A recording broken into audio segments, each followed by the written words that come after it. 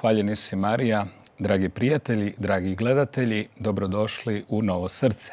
Sve vas od srca pozdravljam i zahvaljujem što pratite ovu emisiju i što pratite Laudato televiziju.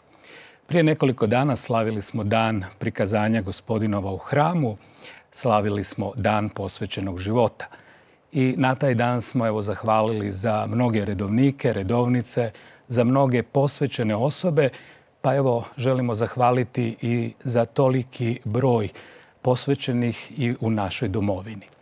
Na osobit način u ovoj emisiji ćemo se spomenuti Dominikanaca, a razlog je zato što oni ove godine slave 800. obljetnicu od dolaska na ove naše prostore, a isto tako 800. obljetnica od preminuća Svetog Dominika. Zbog toga, evo, u emisiji gost emisije Fra Ivan Marija Tomić. Dobrodošao, Fra Ivane. Hvala na pozivu. Evo, drago mi je, e, ti dolaziš iz župe Kraljice Krunice kao župnik ovdje, zapravo gdje je i Laudato televizija. Evo, e, rekao sam, posvećeni život e, i naravno slavlje koje slavite. To će biti nekako i centralna tema, možemo reći. Ali evo, možda i na početku malo se predstavi, mnogi te poznaju, ali evo malo o sebi i o svom pozivu. Pa evo, rođen sam 1984. u Bosanskoj gradiški. Inače sam živio u jednom selu Župa Dolina, malo nizvodno, do 1993. kada je moja obitelj e, izbjegla u Slavoniju kod Nove gradiške, zato što je to već bilo cijelo vrijeme u biti okupirano od agresora. E, tamo smo bili izbjeglice, i tako. Završio sam i školu tamo, u Novoj Gradiški sam završio opću gimnaziju, poslije toga upisao e, pravni fakultet, došao u Zagreb 2004.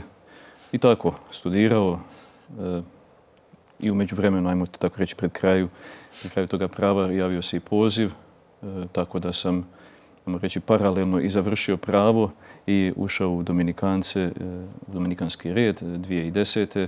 I evo, tako. I evo, u Dominikanskom redu. Znači, e, taj susret sa Dominikancima se tu dogodio zapravo, jel da, u Zagrebu? Pa u biti ne, već uh -huh. 2000. je moj rođak koji je Dominikanac. Mhm. ovaj, on ima mladu misu i ta sam ja prvi put ugledao Dominikance. Onako, bili su u bijelome, veseli, razigrani. I meni je to nekako odisalo baš zračilo, hajmo to tako reći. Mhm. Nisam tad smatrao da ću ići redovničkim ili svećeničkim putem, ali nekako u meni, tad sam rekao samom sebi, kad bih ikad išao, išao bih u njih. da, ta nekakva logika je bila tu. Zbog onoga vanjskoga, da, ja se volim našaliti kao kada netko e, ovaj, kada momak vidi curu pa mu se svidi na prvi pogled. Tako je meni bilo e, sa, sa Dominikancima. Naravno, kad je, kad je poziv bio tu i kad sam promišljao više o tome, onda naravno sam i malo i čitao više o Svjetom Dominiku, o Dominikancima, razgovarao i sa svojim rođakom i tako. Da, da, ali svakako tu je i ovaj obiteljska pozadina, možemo reći, ali što se tiče evo i e, vjere i tog rasta u vjeri, a onda kasnije, evo, znači, već u zrelijoj dobi možemo reći, znači, otkriće tog poziva. Pa kažem, kada nekoga pitaju o pozivu, kada mene pitaju o mhm. pozivu, to je to bih ja onda trebao ići secirati cijeli svoj život. Jer mhm. To je nešto intimno i nešto osobno i nešto što je proizlazi iz dotadašnjega e, življenja i svih onih životnih iskustava. Rekao bih da mene, naravno, e, to je Bosna, e, to je katolička obitelj, redovito se išlo na misu, sve se slavilo što se treba slaviti, molilo se, a, ne znam, ali plus to svakako na mene ima utjecaj i rat i sve ono što rat sa sobom nosi, i tragedije, i obiteljske, i mhm. I, Koliko si godina imao baš u to vrijeme? Znači, to je vrijeme pa eto, između sedam i, i koliko već. Dakle, ali 91. znači -hmm. sedam, 95. Jel? Ali da, da. E, to je nekako intenzivnije sjećanje jer smo mi bili cijelo vrijeme recimo u tom ratu e, pod, dakle do 93. Mm -hmm. pod stalnom i konstantnim pritiskom i strahom da li će netko doći i oduzeti ti život. Mislim, to je bilo ovaj, ne znam, malo intimno, ali svakako na moju. Jednoj večeri su pucali nam pokući, dijelile su sekunde da ja ne budem ovdje s vama da, sada. Da, da, da, Tako da kažem, e, poslije toga izbjegli, što sve to ostavlja nekakve tragove, nekakve mm -hmm. dvojbe u meni. Jer, kažem, s jedne strane vjerujem Bog postoji, a s druge strane kako taj dobri Bog može dopustiti patnju, zlo koje nas pogađa ili članove obitelj, bolest i tako neke -hmm. situacije. Tako da, kažem, moj, e, moj odnos prema Bogu je bio između svađe i štovanja, to tako reći. Ovaj, I propitkivanja svakako. Onda, kažem, kada dođe još mladenaštvo pa se čovjek mhm. nađe u tome da e, i sam čini neke stvari poslije kojih mu nije lijepo i ne osjeća se dobro, ajmo to tako reći, savjest djeluje, onda, onda kažem sve je to nekakav koloplet svega i svačega u kojemu se nađe i opet se vraća Bogu. Jer, e, kažem, to je ona enigma koja ti je uvijek pred očima. Mm Ona je netko koga možeš optužiti, možeš voljeti, trebaš voljeti i ispitaš se zašto. Jel? I naravno, kroz ta, ajmo mhm. tako reći, e, trvenja između mene i njega, između mene i samoga sebe, ovaj, e, otišao sam na jednu ispovijed i poslije nje nekako gospodine providio da sam završio kod profesora Ivančića na, na onim njegovim predavanjima poznatima Malo sam ga mhm. poslušao i to primijenio, ajmo to tako reći. I otvorio sam to reći živome Bogu na način da sam shvatio kako njega trebaš pustiti u tu svoju patnju, u tu svoju bolu, u te svoje dvojbe, e, u tu svoju grešnost. I, ovaj, on ti otvara nove putove. Mhm. reći. Je se onda tu dogodilo, da tako kažem, i to srce, novo srce kod tebe? Znači, to je jedno novo iskustvo, možemo reći. Pa možemo to tako reći, da, mhm. da, da kažem, ovaj, naravno nije odmah išao poziv iza toga. Mhm, mhm. E, jednostavno ja sam imao svoj mir, sad je sve dobro. Da, da, da. E, Bog je učinio Nećemo svoje. se svađati više. Nećemo se svađati više. Bog je učinio svoje sa svoje strane. Ja sam tu, evo gospodine i tako. Onda je on providio, onda sam mhm. ovaj, e, na jedan način došao i budući da sam živio tamo u studentskom domu Stjepan Radić na Savi, onda je došao tamo i Don Damir Stojić Ovaj, malo sam ministrirao kod njega mhm. na njegovim zornicama. U međuvremenu sam ušao i u tada i sada postojeću Božju pobjedu. Ovaj, I tako je to nekako. A u međuvremenu onda kažem i taj poziv se počeo javljati. E tad je počelo opet malo trvenje mene i njega. Ovaj, me sad zoveš, jel? To, ali na kraju Bog je Bog, ovaj, odnosno on želi nama najbolje i kada čovjek konačno se pomiri s tim, sa svim onim što jest i što Bog od njega očekuje i na neki način za onoga, s onim zašto je stvoren, onda ima tu nekakvu unutarnju sigurnost, mir, potvrdu, ajmo to tako reći. Da, da, baš ta sigurnost unutarnja, da, da. A kasnije započinje zapravo i e, fakultet ili je to za vrijeme fakulteta? To je bilo za vrijeme dakle, tog pravnog znači, fakulteta, dakle od 2004. pa, pa nadalje. Da. I ovaj, tu si se našao na neki način, jel da, pravni fakultet, e, želio si postati odvjetnik ili... Pa jest, e, to me nekako privlačilo, kažem, ali mhm. možda, možda sam, kad sam upisivao, imao više svjetovni pogled. Naravno, pomagati ljudima, da, ali mhm. nekako je to opet ono, dobro, nitko od nas ne zna, kažem, na početku nekih svojih, e, pogotovo u tim godinama, što stvarno želi. E, odnosno, mhm. zna što želi, ali ima nekakve svoje predođbe toga. Ovaj, tako da, jest, e, bilo je dobro na pravu, zanimljivo, svakako, teško isto tako, mhm. ali jednostavno tijekom cijelog tog perioda i pogotovo kako je to paralelno išlo i, ovaj moj rast u vjerujemo to tako reći, ovaj, iskristaliziralo se ovo drugo. Jel? Tako da, kažem, potrebno mi je bilo i to, i to, i to pravno i razdoblje prava, studiranje i svega toga da bi ovo sazrelo možda, gospodin me vodio kroz to, mhm. kroz tu moju pustinju možemo reći, ali s druge strane, kažem, ima to i svoje sada nekakve e, način na koji čovjek promatra svijet možda više ustavniji, ajmo to tako reći.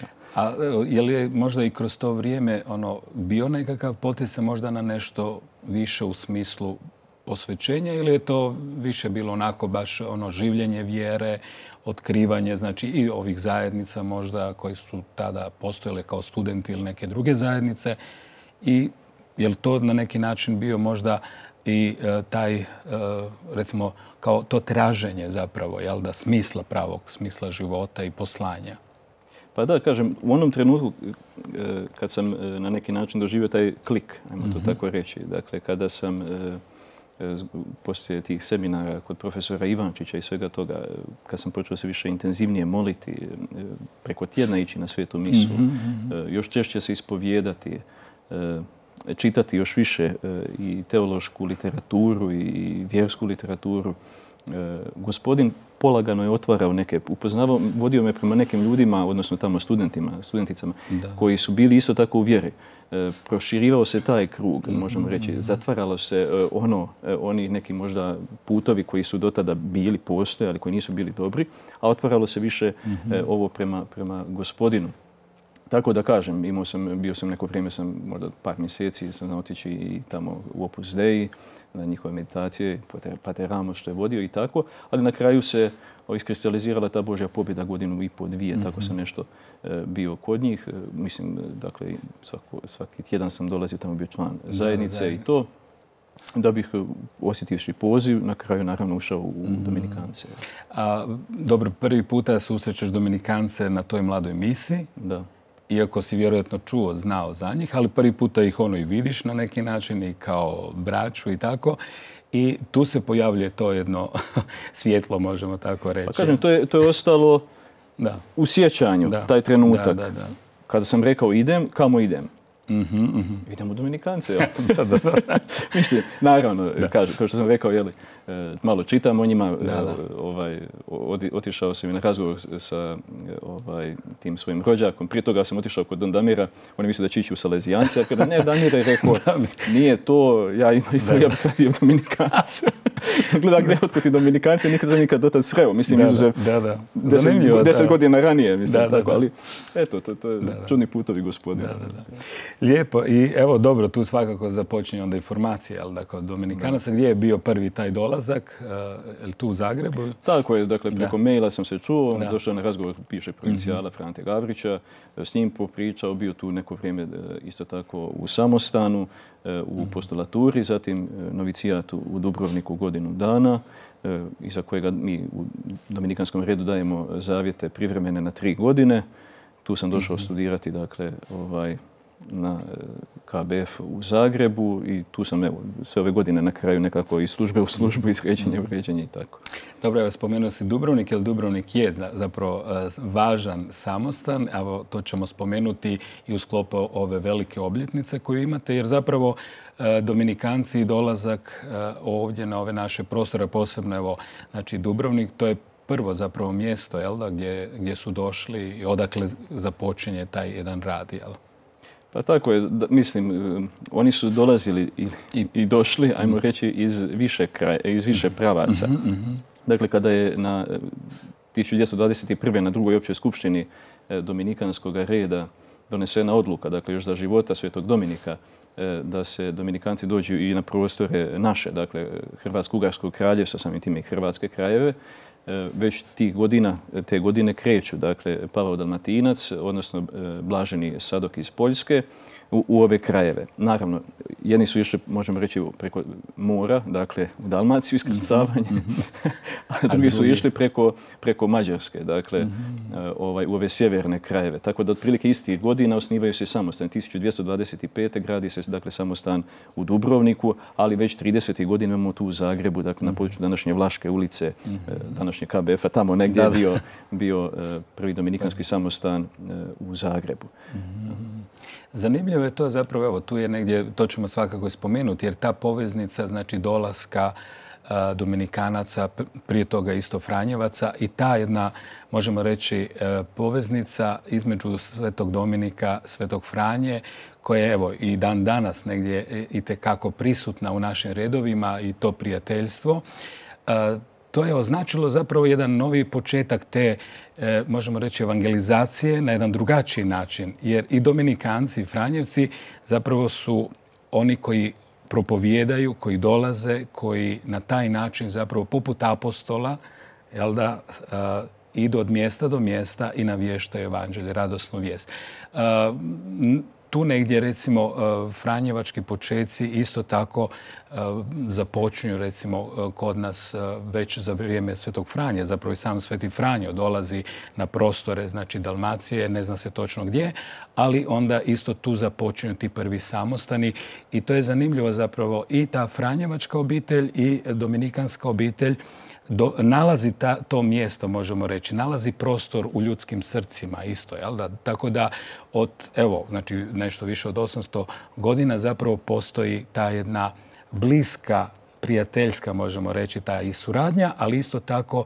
i ono što narod osjeća, baš ono fratri ili bijeli fratri i to do dan danas traje. Kako vi to evo sad na ovoj proslavi, na neki način vjerujem da ćete to i onako e, svečano proslavljati, ali kako to doživljavate, evo, doista taj jedan povijesni hod Dominikanaca i cijele dominikanske obitelji baš u našem narodu?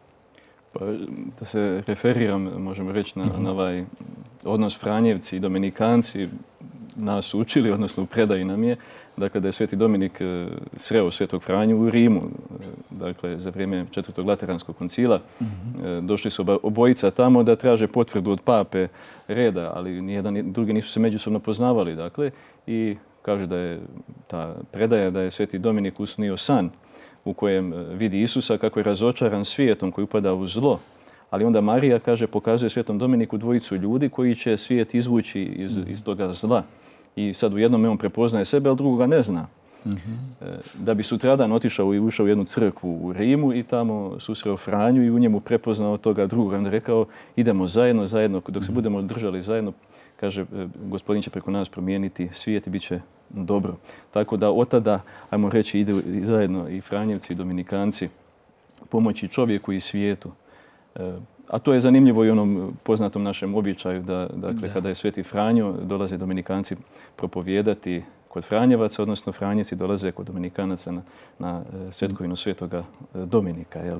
To su dvojica braća Seravski i otac jel, i, da. Dominika. I evo nije niti e, čudo da je zapravo i u litanijama isto tako kad se mole litanije, znači Sveti Franjo i Dominiće. Tako je, Molite za nas. Da, to je ostalo. Lijepo. Evo, možda samo nekoliko riječi. Sad je proslava započela, znači na blagdan Svetog Tome Akvinskog i proslava je e, na, na taj način zapravo započeta. Vjerojatno će se tu događati i mnoge druge e, stvari koje su važne evo, za cijelu dominikansku obitelj. Pa možda evo nekoliko riječi samo baš o tome. Evo, taj početak je označio i e, naš nunci jel da, koji je proslavio zajedno s provincijalom, zajedno sa mnogim drugim, naravno iz obitelji dominikanske, ali i drugi redovnici. Evo, e, možeš tu možda reći, evo, što je bio glavni nekako poticaj možda evo, na, na tom slavlju? Pa kažem, cijela ova godina će biti obilježena e, tom obljetnicom. Dakle, prije pet godina, 2016. godine smo e, slavili 800 godina od potvrđenja reda. Dakle, sada slavimo 800 godina dakle, od dolaska u ove naše prostore, odnosno od smrti samog svetog oca Dominika. E, tijekom godine ćemo imati na neki način to obilježeno. Naravno, ova sva situacija oko pandemije, covid i mm. svega ostaloga, do određene mjere to će morati biti određenim granicama e, suzdržanosti, ajmo to tako reći. Ali počeli smo na svetog Tomu Akvinskoga, dakle na njegovu svetkovinu, upravo ovaj, pokazujući onoga koji možemo reći u sebi utjelovio najbolje, isto tako uz svetog Dominika, onu karizmu dominikanskog reda. Dakle, proučavati istinu i navijestiti je čovjeku radi njegovog spasenja. Spasenje duše je glavna, možemo reći, cilj ovaj, dominikanskog reda uz dati slavu Bogu. E, tako da smo onda počeli s tim e, na Svjetog Dominika s tom proslavom. E, bio je, kao što ste rekli, i nunci, odnosno otvorili smo na novo obnovljenu knjižnicu samostansku Hijacinta Boškovića kao pokazatelj svega onoga na koji način mi promatramo i želimo to pokazati na što se usredotočujemo. Dakle, na navješta istine, na to da želimo drugima pristupiti i zašto smo došli u biti ove krajeve, nisam na to e, baš ne mhm. odgovorio. Dakle, upravo tome da, da pokažemo kako smo kontinuirano ovdje i da cijelo to vrijeme pronosimo ono zašto smo, možemo reći, i pozvani tu karizmu Svetog Oca Dominika. Tijekom, kažem, godine bit će e, i više emisija, to je već u planu, dakle 12 emisija tematski koje ćemo prikazivati u po određenim mhm. temama iz dominikanskog života, poslanja i svega ostaloga. Isto tako e, i o našim samostanima. Biće otvaranja još e, i jedna e, dakle, obnovljena gotička kapela u Rijeci, muzeji, E, simpoziji o Dominikancima i tako nekakve e, stvari tijekom godine koje će na neki način pokušati iz raznih e, smjerova pokazati tu našu kontinuiranost ovdje, a isto tako i aktualnosti danas. Da. možda evo i za naše gledatelje koji, vjerujem, poznaju naravno Dominikance i mnoge koji su članovi Dominikanske obitelji, ali evo samo možda informacije o samom Svetom Dominiku. Znači, evo kako to da je on zapravo zaželio upravo to, e, navještati istinu evanđelja, istinu koja je zapravo sam gospodin Isus Krist. Pa evo možda samo nekoliko riječi, čisto da vidimo odakle on dolazi i kako to da, evo, dolazi i u Rim kasnije, naravno, onda i cijela ta karizma se nekako širi čitavim svijetom zapravo.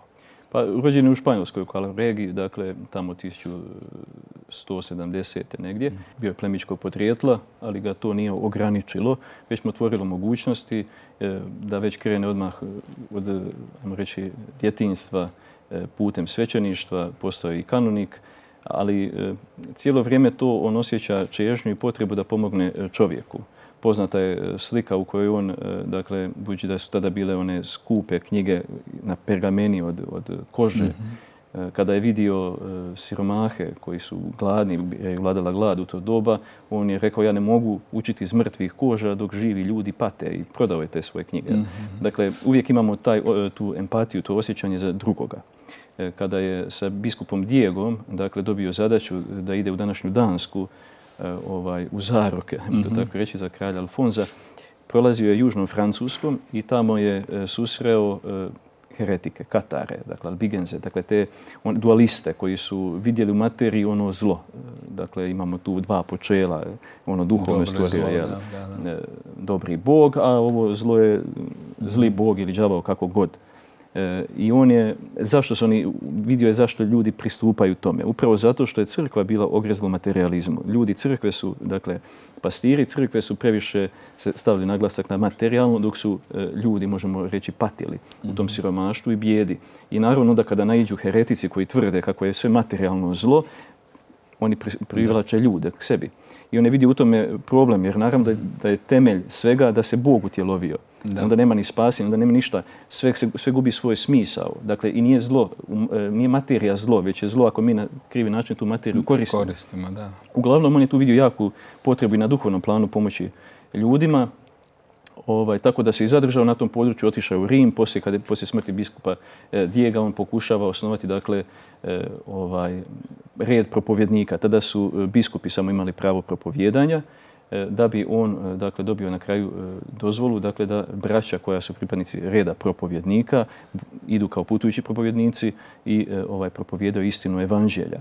Pri tome on vidio u tome ovaj, naglasak je stavio na nužnost školovanja, dakle pa je onda slao braću u ove tadašnje centre sveučilišne mhm. da bi što više proučavali istinu, ponirali u teološke istine i da bi onda te istine mogli E, navještati e, ljudima u potrebi i da bi ih izvlačili iz e, zla krivovjera koje su mhm. upali. Dakle, cilj je, možemo reći, gestu Dominikanaca je istina, a cilj je spasenje duša. Mhm. Dakle, nije tu intelektualizam nekakav cilj samome sebi, već Nego u službi evanđelja, u službi evanđelja i, i navještanja čovjeku. mm reci mi, evo, dobro, u to vrijeme zapravo i drugi ulaze onda u red, baš potaknuti njegovim primjerom i tu nastaje taj red. Do tada znamo, znači, i Dominikanci i Franjevci zapravo su apostolski redovi u crkvi. Znači, upravo to po primjeru Isusa i apostola u tom srednjem vijekom su zapravo započeli propovijedati i donositi radosnu vijest baš ono do, do svih ljudi, možemo tako reći. I to je bila jedna novost u crkvi. Jel? I naravno ta duhovnost e, ili karizma dominikanska i franjevačka onda jednostavno donose to svjetlo u smislu te evanđelske istine i ovo što si rekao, baš to, znači istina, ali u službi spasenja duša. I tu se zapravo događa veliki jedan duhovni, možemo tako reći, pokret u crkvi. A to potiče onda i mnoge lajke, jel da, suradnja sa redovnicima tada. Pa evo, e, kad započinje u dominikanskom redu baš da se ta obitelj širi na više tih, ajmo reći, grana, jel? Pa, kažu neki i vjerujemo da je u biti e, dominikanski red prvi u kojem je osnovana ženska grana, pa onda muška. Mhm. Zašto? Upravo propovedajući u Južnoj Francuskoj na tim područjima, e, mnoge e, djevojke i žene koje su prešle na tu herezu, kada su se vratile u krilo katoličke crkve, željele su na neki način ostati u molitvenom životu. I onda je sveti otac Dominik osnovao prvo e, kuću za njih u Pruju i, mhm. ovaj, i iz toga je u biti ponikla ta ženska grana Dominikanki. To je nekih osam godina ranije, prije nego što je potvrđen e, ovaj, e, muška loza, ajmo to tako reći. E, I u njima je on vidio ono što je bitno. Dakle, one koje će moliti da braća uspiju. Mhm, dakle, mhm. molitva prije nego što idemo nešto raditi. Dakle, e, kontempliraj, e, moli se za one e, koji su poslani I, na taj način ostvarujemo to poslanje. Jer inače možemo mi pričati uzalud ako to nije potpomognuto milošću Božjom i molitvom. Da, da, uzalud trud svirači, kako bi se rekao. da, da, da. Ovaj, s drugog kraja, naravno, da i tih prvih godina onda dolaze i osniva se u međuvremenu i taj treći red, ajmo to tako reći. Dakle, ljudi koji će živeći svoj laički poziv i živote. I u braku, znači tako je e, ovaj, ipak e, slijediti i mhm. karizmu. Mi imamo i danas dakle, mhm. laička bratstva Ovaj, i u Hrvatskoj, pri svakom mhm. samostanu i tako. Da, evo, to je zanimljivo. Znači, i u ovoj proslavi 800. obljetnice tu su uključeni znači, svi koji su članovi, znači i sestre Dominikanke i naravno znači, treću reci ili kako već ovaj, kako ih nazivate, ali to su zapravo lajci koji žive znači vašu karizmu u svijetu. I e, kada se na neki način to dogodilo u Hrvatskoj recimo, je li to od od samog početka dolaska znači Dominikanaca ili se kasnije to razvijalo što se tiče sestara, što se tiče lajka? Pa to je otprilike u isti, isto vrijeme. Mhm. Možda malo kasnije su mhm. e, ovi laici, ali to je stoljeće više manje. Da, Ajmo to da, da, da. nekako zaokružiti. E, dakle, Dominikanke dolazi isto tih godina, e, bježeći pred e, opet navalom Tatara i svega ostaloga ovaj, dakle, južne krajeve. Prvi tiskani, ovaj, ne tiskani, prva knjiga na latinici mhm. dakle red sestara Dominikanki, to je tamo u Zadru, ako se ne varam. Mhm onda, dakle, latinici na hrvatskom. Da. E, ovaj, a isto tako onda pri samostanima vrlo brzo dolazi do osnivanja e, laičkih e, bratstava mhm.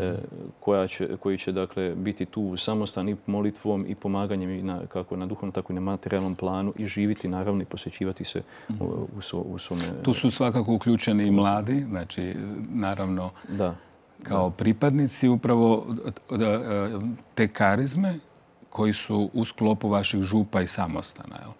Tako je, naravno. Sad, kažem, u Hrvatskoj je možda to malo ipak e, mhm.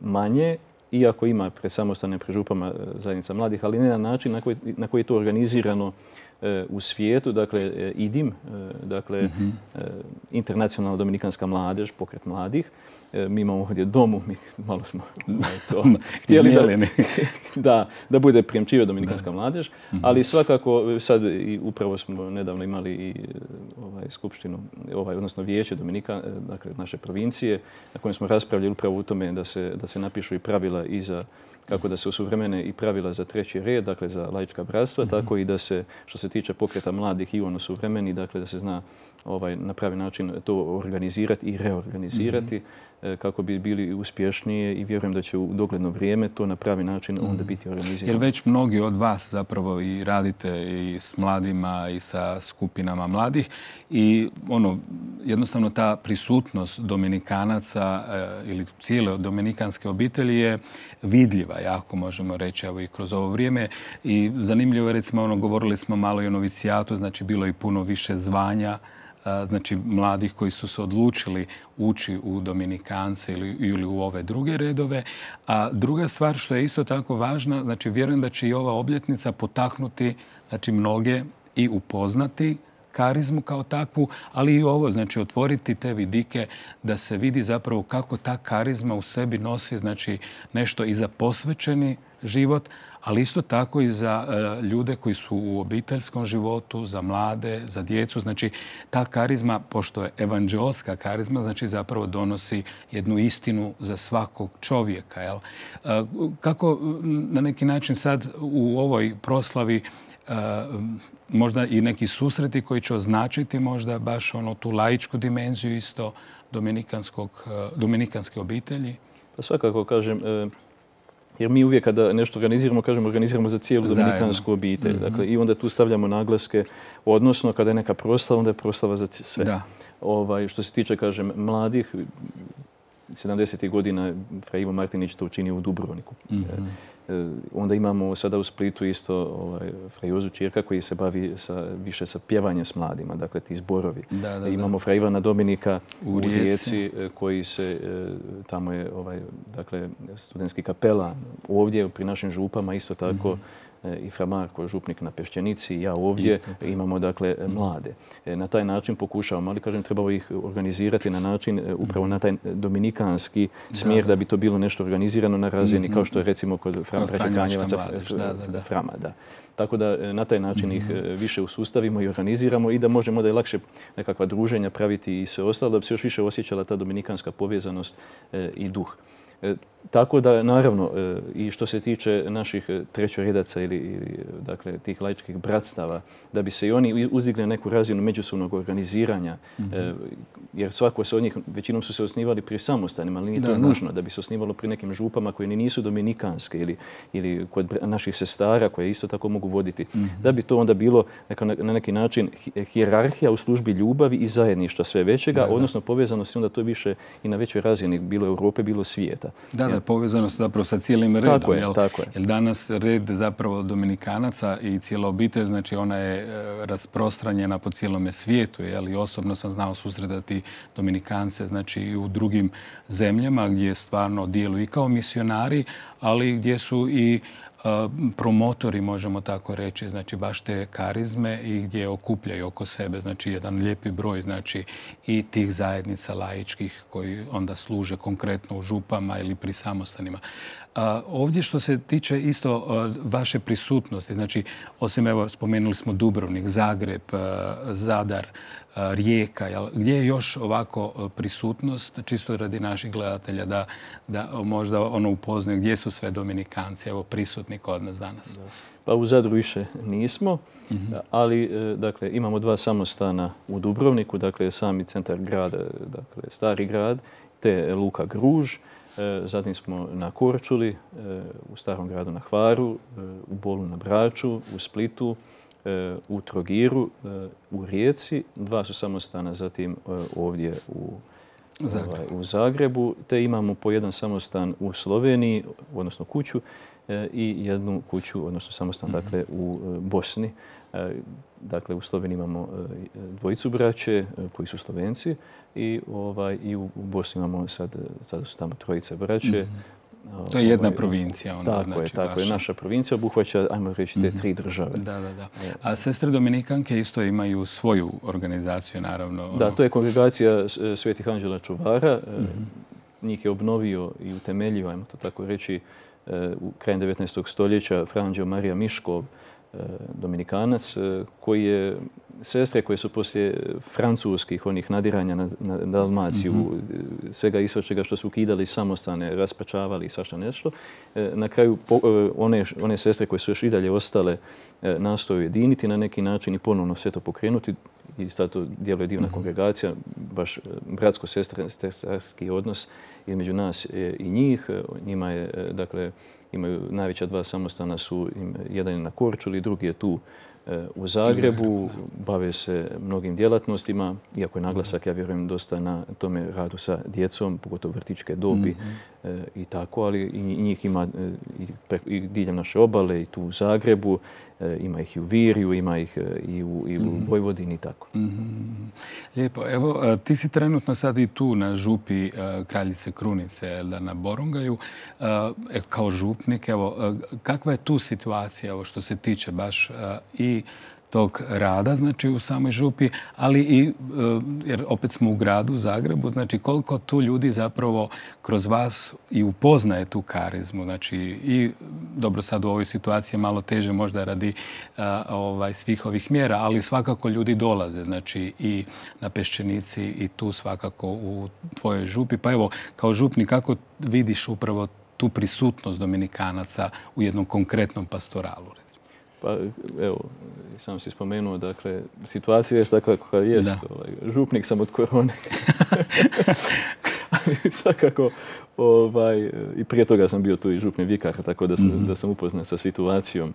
E, imamo rad i sa mladima, i sa e, ovima djecom. Manjkavo je za sada, kažem, za svoju župu, ovaj, možda e, mlad sa bračnim parovima rad, ali to je sad teško organizirati. Rado bih to, ali je teško zbog svih ovih mjera. Ovaj, a vrlo je, e, kriza je u obiteljima, kada, kažem, imamo i treći red, imamo i molitvenu zajednicu, dakle, e, sve to, ali čini mi se da je jezgro svega e, svih naših problema, ajmo to reći, nije, ali to kakve su danas obitelji. da. Jer su djeca izlaze iz tih obitelji, mm. dakle one su njihov plod. ne može se, kada, ne može škola odgojiti dijete. Ne mogu ja odgojiti mm. dijete na našim vjeronaučnim susretima to je ono što je zadaća obitelji. A ako obitelji slabe, ako obitelji nisu vjerničke, ako obitelji se slabo mole, ne, idu na, e, mm. na sakramente, na, na svetu misu, naravno da dijete onda nije upoznato e, s onim e, vjerskim, ne može se održavati ta duhovnost kod mm. djeteta i ono, možemo reći duhovno mi kržljamo onda u tom takvom mm-hmm. okruženju.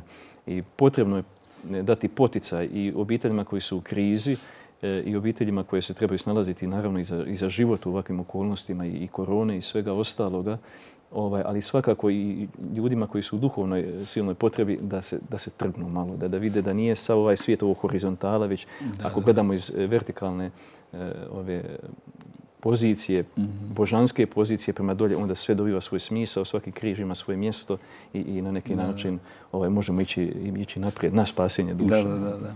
Recimo, evo, ti si dosta i ovako i u medijima i evo, tu isto tako na Laudatu, ali isto u ovom projektu pod Smokvom, što je isto tako jedna novost, možemo tako reći, i ta lijepa suradnja, znači različitih svećenika, redovnika i tako dalje. I onda se na taj način zapravo danas šalje jedna poruka istine, evanđelje. Evo, kako to vidiš, jer sudjeloš, rekao bih, onako iznutra, evo, u tome? Pa da, pa prvo je to, e, u tome počeo sudjelovati brat Ivan Dominik, zatim je mene pozvao, tako da sam se ja odazvao tome i čini mi se da je to jako, jako dobar e, projekt. Tu je Dakle, uključeni su i laici i svećenici, e, laici i tako što čitaju, dakle, sveto pismo, e, dakle, pojedina evanđelja toga dana. Umjetnici e, isto. Umjetnici isto, koji dadnu i svoj osvrt na to mhm, i svećenik kao takav. Dakle, imamo nekako upravo, upravo jedinstvo, ajmo to reći, dobrog, lijepog, istinitog. Ovaj, na to da, idemo pomagati drugima, pogotovo ljudima kojima je potrebna svakodnevno nekakva sitna riječ. Možda neće stići na misu ili, su, ili ako su stariji ljudi neće e, svaki dan moći e, mhm. upravo nazočiti svetoj misiji. Ali svakom je potrebno doza ohrabrenja toga dana, doza istine, doza nekog poticaja na mhm. pravi način i to u tih, ne znam, između 5 i 10 minuta upravo, upravo dobiju. Da, da, to je baš zgodno zato što se u kratkom tom jednom vremenskom periodu može čuti evanđelje, može čuti isto tako poruka evanđelska i to je stvarno evo, zanimljivo. U ovom vremenu ovih mjera i ograničenja opet evanđelje nalazi svoj jedan put. Evo, nadam se da je i ova emisija našla svoj put do mnogih srdaca i evo da, da su mogli čuti i tvoje ono iskustvo, ali isto tako evo bilo mi je drago da, da stvarno naši gledatelji dožive i ovu proslavu kao nešto lijepo za naš narod, znači 800. obljetnica vašeg dolaska, znači tu i što je sve dominikanski red i što su sve evo članovi dominikanske obitelji značile u povijesti našeg, ovaj, našeg naroda. Hvala ti što si našao vremena evo, da budeš u ovoj emisiji. Možda poruku jednu ovako za kraj emisije. Pa, hvala prije svega na pozivu, a poruka, poruka je zagledajmo se u križ i iz njega ćemo sve naučiti. Jel? To je poruka koju je i Sveti Dominik prenio i Sveti Toma Akvinski. Sve ono što imamo dobili smo e, od milosti Božije. E, hvala ti lijepa Frivane. Na kraju ćemo samo reći Sveti Franjo i Domeniće. Molite, molite za nas. Dragi gledatelji, hvala vam što ste bili s nama. Nadam se evo da je i ovo iskustvo, a svakako i ovo svjedočanstvo o toj ljepoti radosne vijesti koju i naša braća i sestre iz dominikanske obitelji navještaju danas, da je doprla do vas i da će, da će doći do mnogih srdaca. Ja vam želim obilje Božeg blagoslova, neka vas gospodin blagoslovi, neka vas čuva, neka vas licem svojim obasja, milostiv neka vam bude, neka gospodin pogled svoj svrne na vas i mir vam svoj podari. Do sljedeće emisije sve vas od srca pozdravljam i želim vam mir i dobro.